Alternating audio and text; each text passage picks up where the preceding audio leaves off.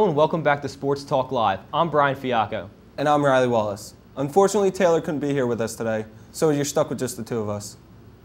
We'll start off today talking about West Chester's hottest squad right now, the men's basketball team. They're on a four-game winning streak with victories in seven of their last eight games. They're coming off their two biggest wins of the season, pulling off upsets against Kutztown and Bloomsburg this past week. So let's break down the Kutztown game first. Coming in, Kutztown was in first place, having won 10 of their last 11 games. West Chester took control right out of the gate, though, and led most of the contest.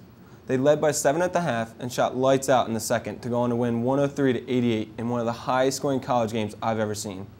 Yeah, Riley, I have to agree. There were so many points scored. What do you think it was about this that made it such a high scoring affair?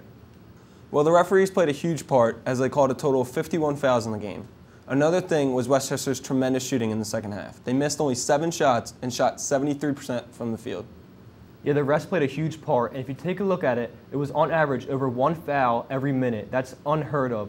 And the refs were stopping the clock by putting points on the board. It's no reason why this was such a high scoring affair. Now let's talk about the Bloomsburg game. We trailed 9 0 before scoring our first points, really struggling early. Still down by 4 at halftime. Neither team really took control in the second, and it really came down to who made the crucial plays in crunch time. Fortunately for us, it was West Chester, as they pulled it out 74 to 71. So, Brian, what was the difference in the second half that gave us the edge and got us the victory? Well, Riley, for me in this one, it was us staying out of foul trouble. No one on the team had more than three fouls. That gave the starters ample playing time, and they were really able to get into a rhythm. Another thing you want to take a look at was the three-point scoring. We outscored Bloomsburg 27 to 9, and Bloomsburg shot 0 for 10 in the second half from behind the arc. That's just unheard of. That brings up a great point, Brian. I've noticed a few things over their recent winning streak they've been doing consistently well, including three-point shooting. They're not forcing the shots, they're shooting when they're open and shooting a higher percentage. Another thing is the team defense. When they're pressing, it's been a very effective press, and when they're not, their rotation on defense has been absolutely tremendous. The last thing I've noticed is the ball movement. On offense, the unselfishness this team has is absolutely remarkable. The, the togetherness they're showing at just the right point in the season is leading this team to success. Yeah, Ryan, who would have expected us to be in the position we are now? With four games left in the season, we're one game back of East Stroudsburg and Kutztown for the second place spot, and only two games back of Bloomsburg, who leads the division.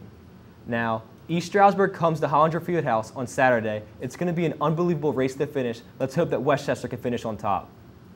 Well, let's finish up talking about the men by introducing the Ram of the Week. The Ram of the Week is the player whose horns have outshined the rest, and in this week, it's no doubt that it's Lance McDowell.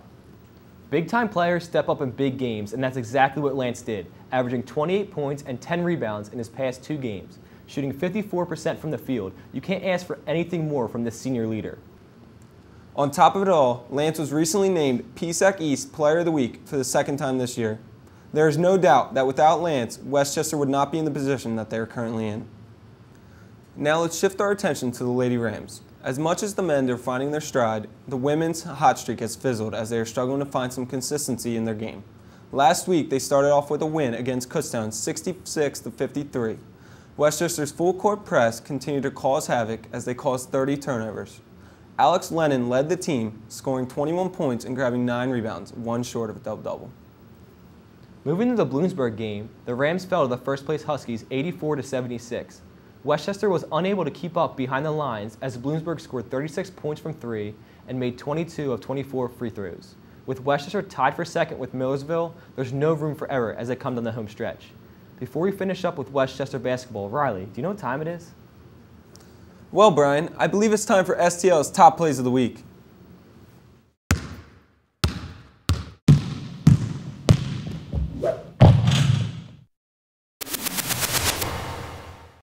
Starting off our top plays today, Tiffany Johnson gets the inbound, throws a long pass to Carly Strickland for the N1.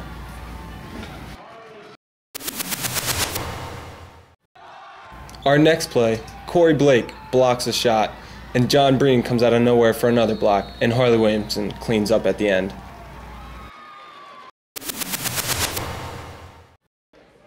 At number three, we have a rare one. Lance McDowell hits the free throw this is the first time since 2005 that the Golden Rams have scored over 100 points.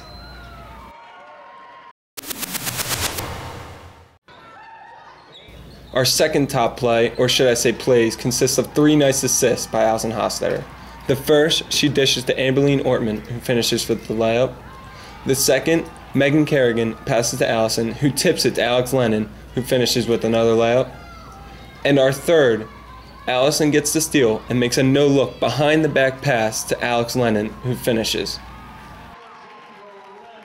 Some more great defense at the number one play.